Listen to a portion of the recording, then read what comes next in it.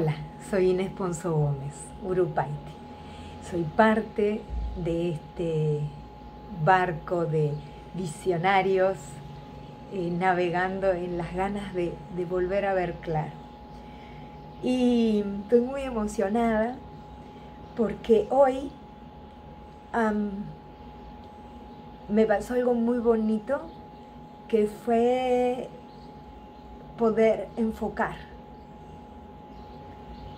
me propuse trabajar, cambié la dinámica en la que estaba trabajando conmigo y por alguna razón, jeje,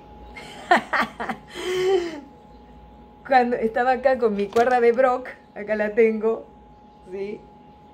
Entonces, en determinado momento, cuando pude enfocar la primera pelotita, siempre la veía borrosa, la empecé a ver clara.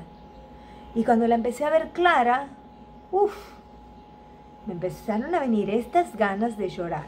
Entonces dije, Inés, suéltalo, suéltalo. Y yo decía, pero ¿qué está pasando? Bueno, el asunto es que lloré, lloré, lloré, lloré, lloré, lloré, lloré.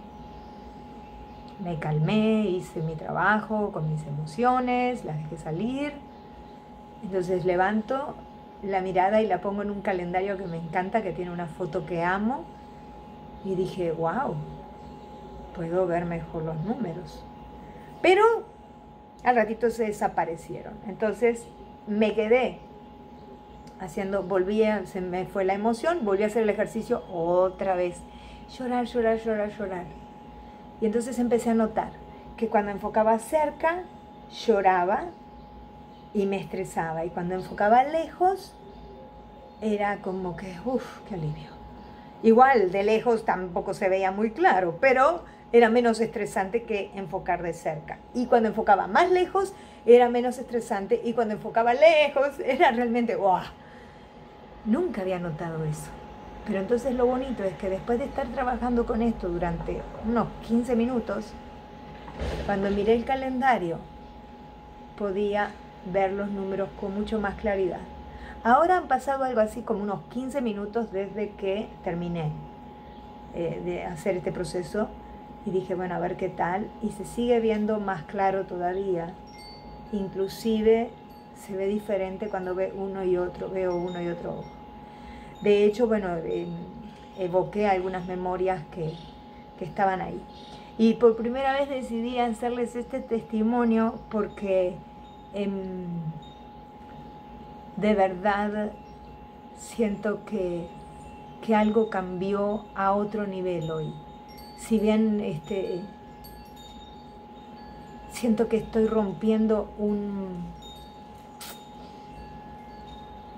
una barrera de un, que, un miedo que había quedado guardado había, había dejado ahí y hoy la estoy rompiendo. Así que les quiero inspirar.